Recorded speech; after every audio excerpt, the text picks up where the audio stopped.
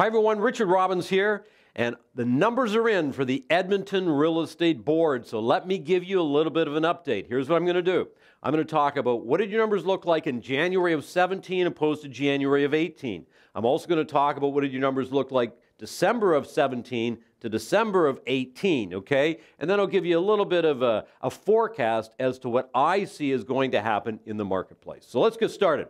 Here are your numbers. This is January of 18 to January of 17. You can see that your sales were up substantially. They were up by 20%. You did 673 sales. 17, you only did 566.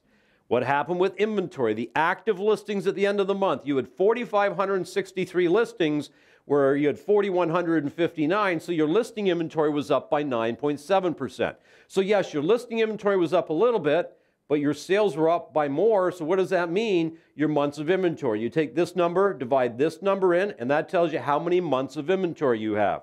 So you're 6.8 in January of 18 opposed to 7.3 in January of 17, which would indicate your market is a little stronger. Now, saying that, what happened with prices? Because if you look at it here, when you have about 6.8 months of inventory, you really have, you're on the verge of a buyer's market. So chances are your prices will probably weaken a little bit year over year. So let's look at what happened.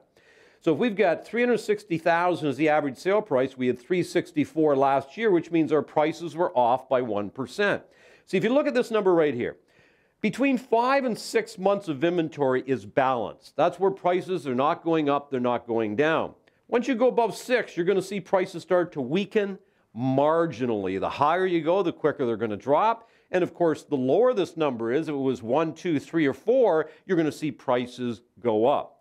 But let's look at January to December. So you can see again, 673 sales. You had 701 in December of 17. Inventory, the same sort of thing. Your inventory is up a little bit. You had 4,563 opposed to 42 okay, which makes us up by 6.5%. And you can see your month of, months of inventory is 6.8 opposed to 6.1, which means you're up by about 11%. What does this all mean? First of all, keep in mind, generally speaking, January sales are going to be a little bit less than December sales because December generally is a little bit of a better month than January is. That's just normal in most marketplaces. Now, also January, let's face it, We've having a, we're having what we call a great Canadian winter. It has been cold, it has been snowy. So I would suspect that'll cause your market to be off a little bit as well. Plus, if you think about it, we've had some rate increases, right? There's been some changes in term, terms of mortgage financing with stress testing. There's just been a lot going on. So what's my prediction? Well, my prediction is you will see more of the same of what you've seen last year.